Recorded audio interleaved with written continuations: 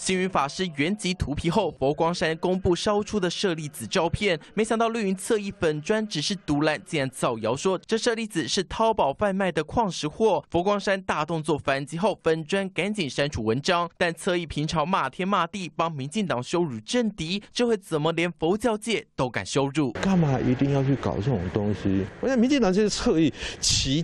无比，唯恐天下不乱，对死者是大不敬了。这件事情太过头，这个社会还是不能容忍。蓝军痛骂这粉砖是民进党的头号御用打手，管理员林义祥过去曾被起底，和前农委会主委曹启宏关系匪浅，而过去也曾抹黑韩国瑜乱亲小孩，被日本电视台 NHK 认证是假新闻，粉砖还因此被检举下架，甚至曾语出惊人说只要抗中保台，贪污都能接受。而在党质疑，连蔡英文和赖清德都。都去追悼星云法师，绿营侧翼粉砖却在抹黑造谣。难道绿军打手已经嚣张到可以入佛？只是堵拦这样的做法，其实真的引起公愤。为了要做政治性的操作，真的是无所不用其极。网友不禁怀疑，蔡政府动辄恐吓百姓，说散布假消息要关三天。如今自己的侧翼粉砖造谣，难道不用处理吗？可是民进党为什么全党上下对这件事情悄然无声？你们不是宣称你们尊敬星？法师吗？结果说一套又是做一套，满脑袋没有是非观念，也没有什么信仰。绿营侧翼谁在豢养，可以无限造谣，乐此不疲。这回拿星云法师做文章，再次突破人性底线。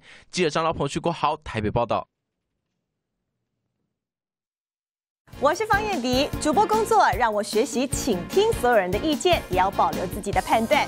也许我们无法踏遍所有土地，但能从新闻里看尽每一道风景。我是方艳迪，请您锁定中视 YouTube 频道，记得要按赞、订阅、分享，开启小铃铛哦。